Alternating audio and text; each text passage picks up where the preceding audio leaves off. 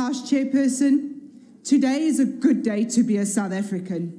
Today is a historic day in our Parliament's history and a day that should make us all proud to be members of Parliament. Most importantly, today should make us all proud to be South African. When the history books are written, today will be remembered as the day Parliament managed to expose and destroy the monster of state capture in Eskom. Today marks the day that South Africa won.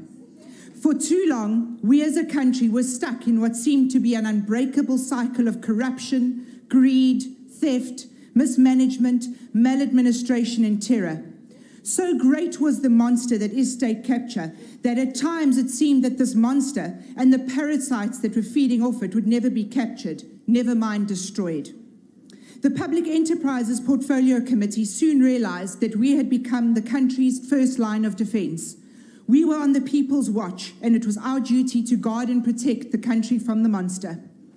We had a rocky start, Never before had Parliament embarked on such an ambitious task.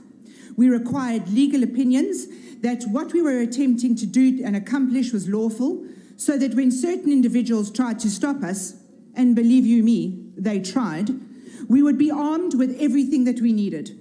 We soon realized that we had a very powerful weapon on our side.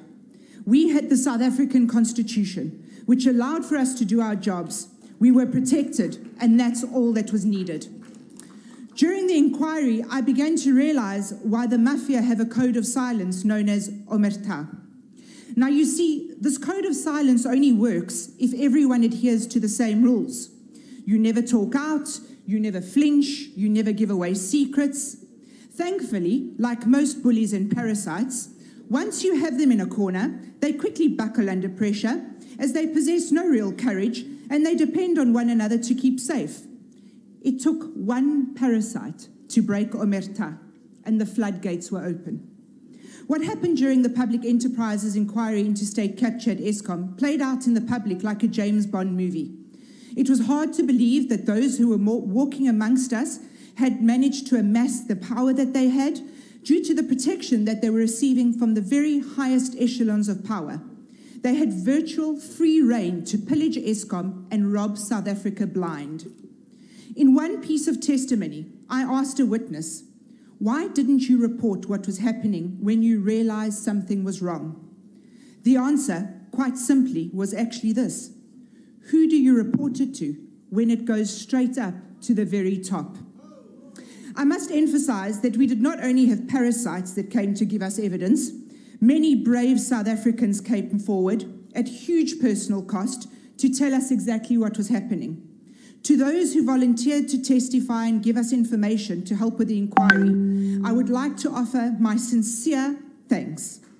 You have proved that good will always triumph over evil. You are proof that in a world dominated by corruption, there are good people who are brave enough to fight, and you can be called true patriots.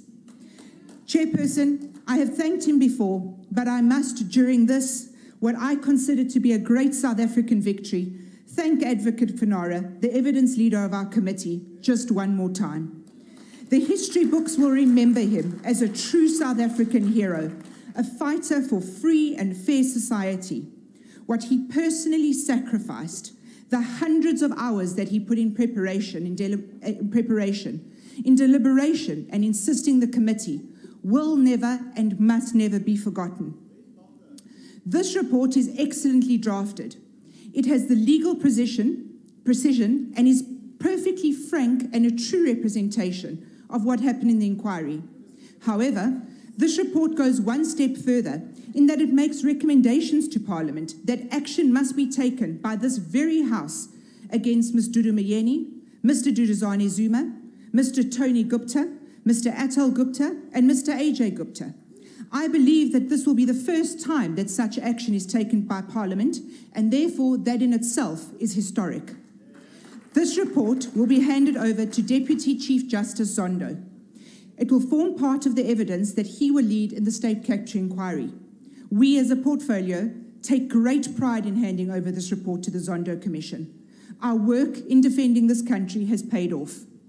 We recommend that a number of people are also called to testify before the Zondo Commission, including Mr. Brian Crimea River Molefe, Dr. Ben Ngubane, Mr. Anoj Singh, ex Minister Lynn Brown, and ex Minister Malusi Gigaba, to name but a few. Information that is currently being uncovered is proving that these individuals will have more than just Eskom to worry about when they face the Zondo Commission. Dirty hands were also all over Denel, Transnet, Alexkor, and many other state owned entities. Speaker, today is indeed a great day to be a South African. Today we prove to our country that we can and will triumph over evil.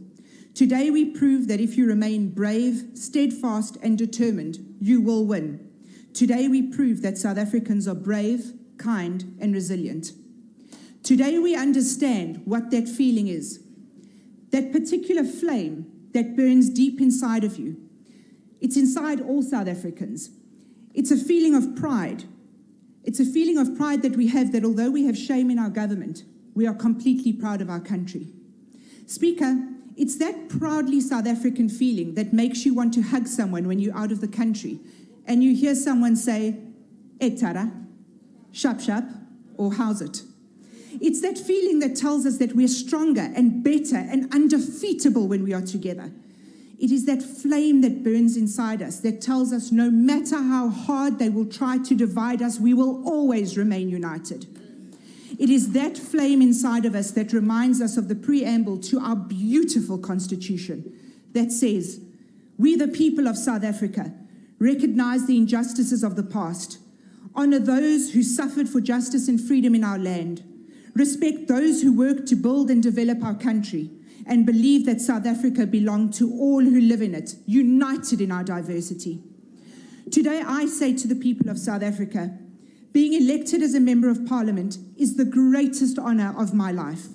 This report is not only a victory for parliament, this is a victory for all the people of South Africa. To my colleagues on the committee, I salute you all. I am proud to stand beside you, and I must tell you that the pleasure has been all mine in working with each and every one of you. Chairperson, today is indeed a very good day to be South African. I thank you.